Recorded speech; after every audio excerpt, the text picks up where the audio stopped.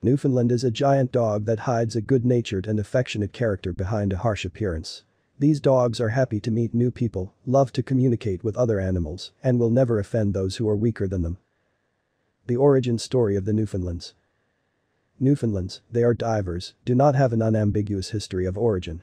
There are three main versions according to which these dogs were bred. The first version refers to the Vikings who bred bear dogs. These were large animals that accompanied their owners on military campaigns. The second version is that divers descended from Tibetan Mastiffs. There is no evidence of this, but Mastiffs are the oldest breed of dogs, moreover, one of the largest. Divers are physiologically similar to these powerful dogs. The third version is that the Newfoundlands formed independently, like a breed. Dogs live near the seas and lakes, so their fur has evolved to become water repellent. The size of the breed was achieved by crossing with other large dog breeds such as Molossians, Mastiffs, and Sheepdogs.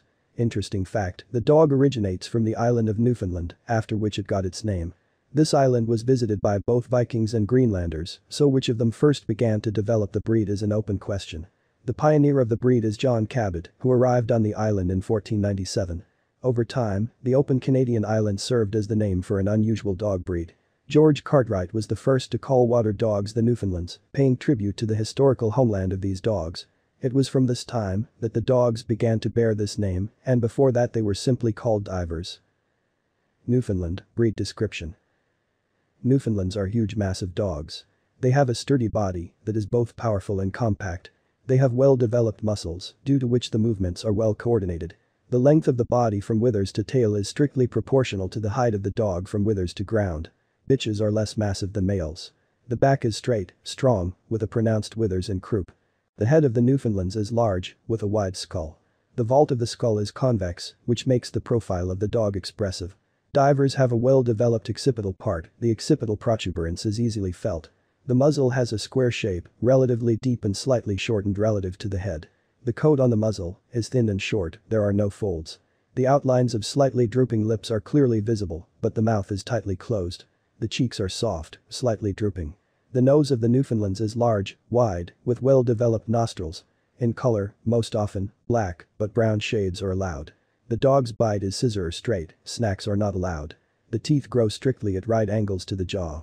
The eyes of these dogs are small, set deep and slightly slanted, which makes the look sad. Set wide enough to each other. The eyelids do not droop, like in St. Bernard's, the red part of the eyes should not be visible. According to the color of the eyes, most often, brown or amber according to color. The ears of Newfoundlands are small, triangular in shape, and slightly rounded at the ends. They are planted on the back of the skull, symmetrically to the cheekbones. Ears stretched forward easily reach the dog's eyes. The diver's neck is strong, smoothly merged with the shoulders, long enough for the head fit to be noble. Has a graceful curve. The dog's chest is round, the shoulders are slightly sloping, the musculature is well developed. The character and habits of the Newfoundlands. Despite their huge size, Newfoundlands are very affectionate, good-natured and open dogs who are ready to love all people around. This character was formed due to the fact that dogs were rescuers for a long time, they found people and pulled them out of the rubble of buildings or rescued drowning people. These dogs have an innate instinct to save drowning people. Divers are good watchmen, they understand what territory belongs to his family and are ready to protect it. Newfoundlands love to learn new things, so they are perfectly trainable. In addition, these dogs are playful, so they love to tinker with children. They will never give a child offense and will make sure that he does not get into trouble, so these dogs are also good nannies. However, children can harm these huge dogs. The bones of Newfoundlands are not as strong as they seem at first glance, therefore it is strictly forbidden to ride a dog, including in sleds. The backbone of the dogs is designed for comfortable swimming and not for the transportation of goods. Newfoundlands get along well with other animals. They do not offend small dogs and cats, they are careful with all the animals that are smaller in size. Some Newfoundlands are even afraid of very small hamsters and mice. Interesting fact, trained divers are well aware of their strength and their size, so they will not carry the owner during a walk, dragging the leash. These dogs are fearless, not afraid of loud sounds and strangers. In addition, divers are very curious dogs. Most of all they enjoy watching the actions of people, which makes them even better nannies for children. Newfoundlands have a lot of interest in new objects, so they always tend to smell and touch on familiar things. Interesting facts about Newfoundlands. Newfoundlands were often depicted on postage stamps, coins, postcards, advertising booklets, and urban graffiti in Canada. These popular dogs were minted in New Zealand. Landseers are black and white Newfoundlands, sometimes identified as a separate breed. They are named after the artist Edwin Landseer, who adored these dogs. Landseers do not differ from ordinary divers in anything, except for a specific color. Silver gray Newfoundlands are recognized only by the Kennel Club of America as an independent breed, but other cynological associations classify them as ordinary divers. In the CIS countries, there is a prejudice against silver divers, which is why they are not even allowed to participate in exhibitions. Newfoundlands are very gentle, sensitive and empathic dogs. They know how to find people's pain points, are aware of this pain and try to help a person. For example, they may start licking a sore spot or try to warm it up. Some argue that it really helps, Therefore, Newfoundlands are sometimes recommended to give birth to people who suffer from diseases of the bones and joints of the legs. The coat of the Newfoundlands is soft and silky. It is great to knit everything from it, from mittens to sweaters. Things are very soft and waterproof. Newfoundlands are like humans, in that they dream. They whine and scratch their paws more often than other dogs while sleeping, and sometimes even wag their tail. Pros and cons of Newfoundlands. The advantages of Newfoundlands include the following facts. They are intelligent dogs with flexible intelligence. In an emergency, they are able to make decisions on their own. For example, if a diver sees a drowning person, he will choose the strategy that will be most optimal for saving the drowning person. Newfoundlands are trainable. They are happy to learn new commands, they are interested in performing tricks. Newfoundlands love people. They are infinitely loyal to their masters and are ready to follow them everywhere. These dogs adore children and even realize their responsibility for them. They can be safely left next to the children, since the dog will never offend the child and will not leave him alone. These dogs realize that they are stronger than humans, so they will never harm them. Dogs of this breed are completely good-natured and affectionate, therefore they are very courteous in dealing with both people and other animals. Newfoundlands are fearless. They are not afraid of trains and cars, they are not afraid of harsh sounds. This makes them good watchmen. The disadvantages of Newfoundlands include continuous grooming of the coat, the thick long hair of divers requires regular brushing. Dogs of this size cannot be kept in an apartment. They will not be comfortable as they require a lot of space. These dogs cannot stand heat and can get heatstroke. They have fragile skeletons, so you shouldn't overload the dogs, even if they are happy to carry your heavy things. Newfoundland care. Newfoundlands require good care. First of all, it is, of course, wool. Thick and light undercoat easily gets tangled in mats. The Newfoundland should be combed at least four times a week and even better, every day.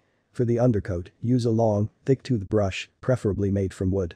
The top coat and top coat can be brushed with a fine, short tooth comb and a natural bristle brush. This will keep your dog's coat shiny and healthy and will not fall into lumps. Divers molt twice a year, so they will have to be combed out several times a day. Once a year, but not more often, the Newfoundland should be trimmed. It is better to entrust this business to professional groomers since it is easy to entangle the coat and get tangled in it yourself. Groomers remove layers of undercoat and cut the length of the guard hair.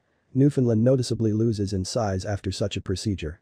It is especially important in the summer when dogs are suffering from heat. Interesting fact, Newfoundlands love to swim, but they cannot be washed with shampoo. Their skin is very sensitive to such substances. Plus, the shampoo washes away the water repellent oil this breed is famous for. If the dog is very dirty, it is better to use a special dry shampoo. Be sure to brush your teeth and cut off the claws if the dog is already clattering them on the floor.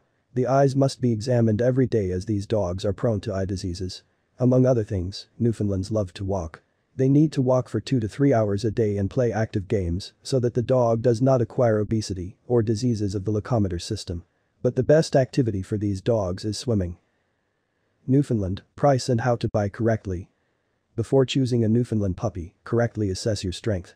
This dog requires a lot of grooming and high maintenance costs. They need spacious enclosures and sometimes air conditioning so as not to overheat in the heat. These dogs should be walked frequently and, if possible, allowed to swim. Taking the first ad on the internet for a Newfoundland is a bad idea. Chances are good to get a mongrel or mongrel puppy. Even worse is getting a dog that has a number of medical conditions. Puppies with diseases of the eyes or musculoskeletal system are especially often sold. Taking a dog online is a huge risk. It is worth exploring nurseries that sell Newfoundlands. Pay attention to their pupils, adult dogs, which have already been taken away by their owners. They must be healthy and robust animals with no obvious signs of disease. It is best to communicate with the owners of the Newfoundlands, which were taken in the chosen nursery. When choosing a puppy, come to the kennel several times. Carefully study the history of vaccinations of puppies, the pedigree of their parents. Newfoundland puppies are fluffy, clean, nice-smelling lumps of fur. They play with each other and are happy to meet new people. Puppies that are shy or dirty can be sick in some way. Depending on the class and pedigree, the Newfoundland, on average, costs from 300 to 700 US dollars. The best dogs of a show or VIP class will cost around 2000 US dollars. Newfoundland is a large and kind dog, resembling a bear in appearance. They are endlessly loyal to their owners, love to play with children, and spend time with their family. Thanks to their sensitivity and intelligence, they will never give family members an offense and will also become good and quick-witted companions.